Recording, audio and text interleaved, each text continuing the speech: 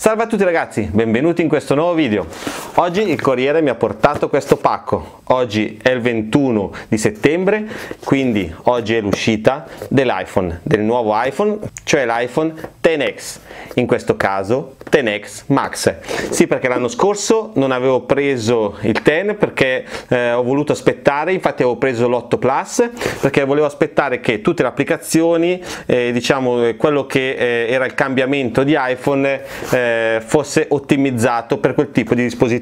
Adesso è passato un anno il telefono eh, ha dimostrato di essere un telefono ultra ultra valido e addirittura quest'anno eh, sebbene non sono stati presentati chissà che grossi cambiamenti anzi praticamente niente a livello di novità però è stato mm, diciamo ulteriormente migliorato quello che già c'era di buono e in questo caso è stato creato anche una versione Max.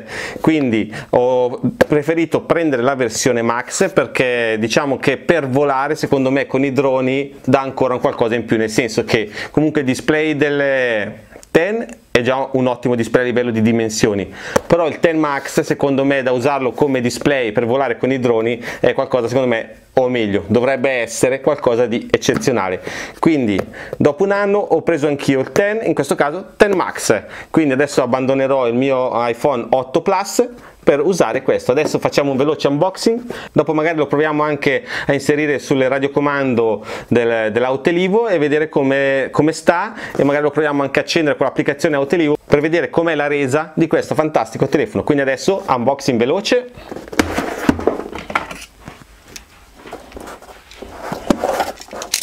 Taglierino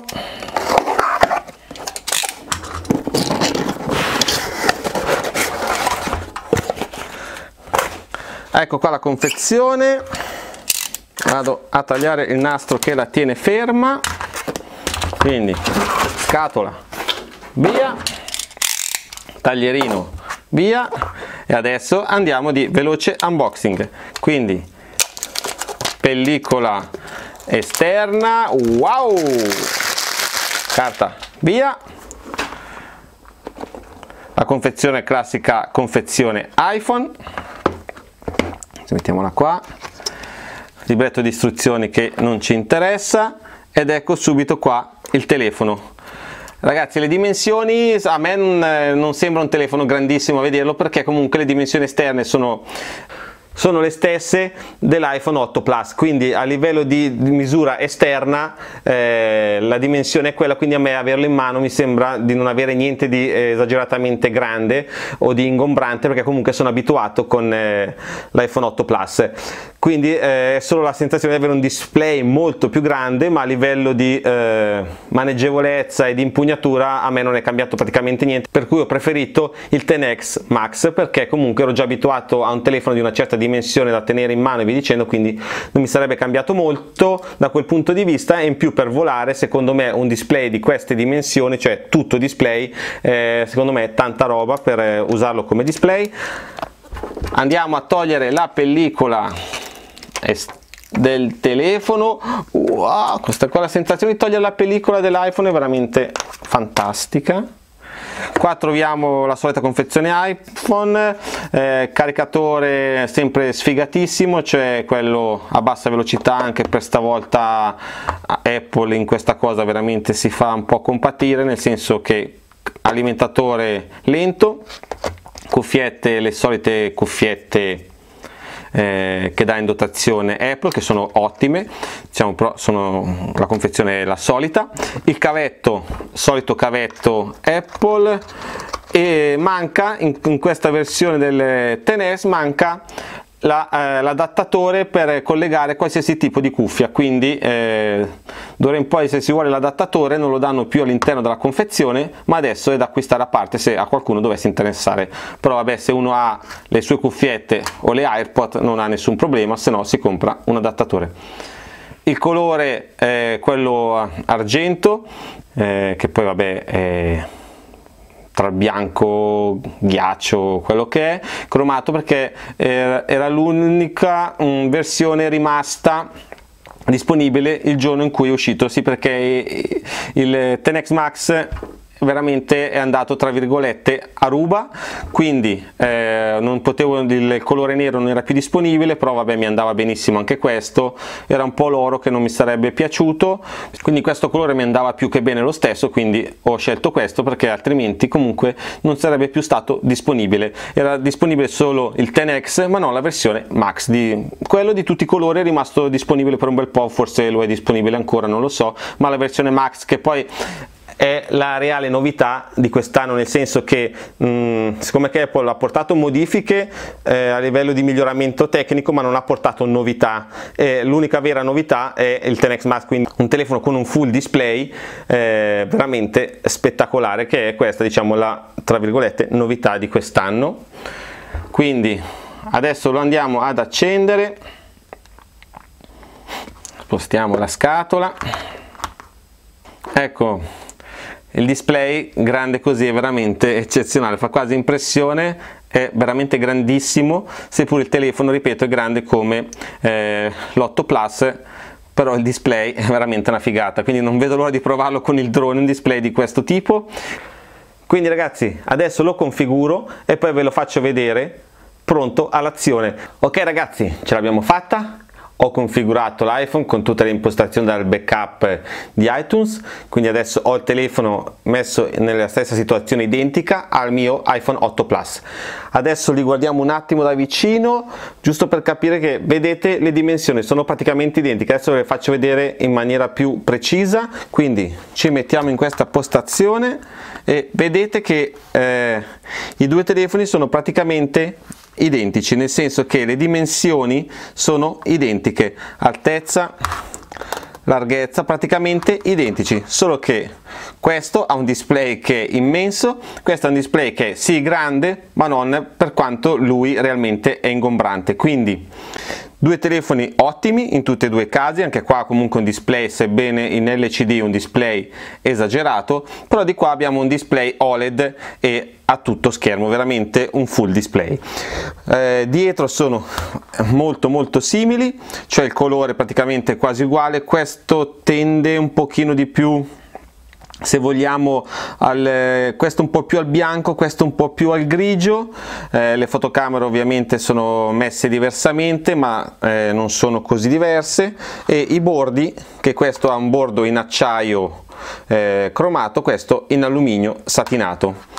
Quindi i due telefoni iPhone 8 Plus e iPhone 10X Max le dimensioni esterne sono identiche. Quindi ragazzi se avete e siete abituati a un 8 Plus acquistate se volete e se siete indecisi perché magari avevate paura che era troppo grande o meno non preoccupatevi. La dimensione del 10X Max è praticamente identica all'iPhone 8 Plus. Adesso accantoniamo un attimo l'iPhone 8 e adesso andiamo a provare a installare a installare proviamo a agganciare il, il nuovo iPhone al supporto dell'Autelivo per vedere come sta e com'è comunque l'applicazione all'interno di questo fantastico display. Quindi andiamo a inserire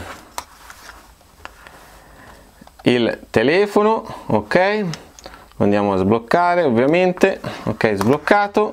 Andiamo a aprire l'applicazione Autelivo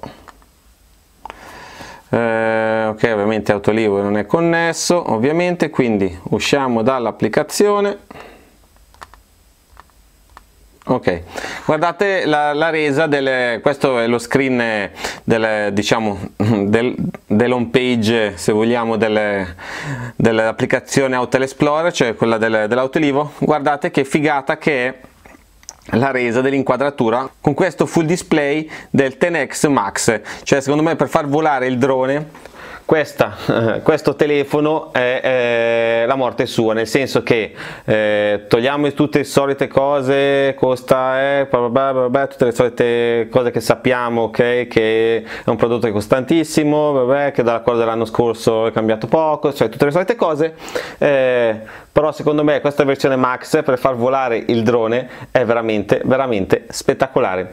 Eh, quindi non vedo l'ora di provarlo fare un volo con l'Autelivo con eh, il Mavic Air per provare questo display in volo.